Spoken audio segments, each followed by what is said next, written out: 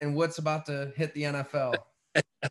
yeah, I mean, uh, yeah, you know, I mean, obviously, you know how sports fans are. So when uh, they didn't franchise tag him, everybody's RB one. You're gonna be RB one. How are you so excited? And then the next day or however many days later, they um, uh, extend or give uh, Aaron the second contract, which I'm absolutely thrilled for him and his family. That's amazing. Um, he's been nothing but kind to me. Um, but it's just so funny. They're like, oh well, then why did we have this guy, the same guy who was saying you're gonna be the future? um, but you know, I just, I don't really. I mean, I just say, you know, just be patient, just watch it. You know, if I can be patient, everybody else can be patient. Yeah.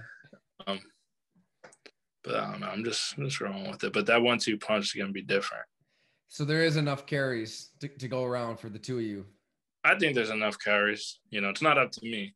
I, am still fighting for carries, but, but, I'm still trying to take any carries I can get. So there'll definitely be more carries, I hope, than I had last year.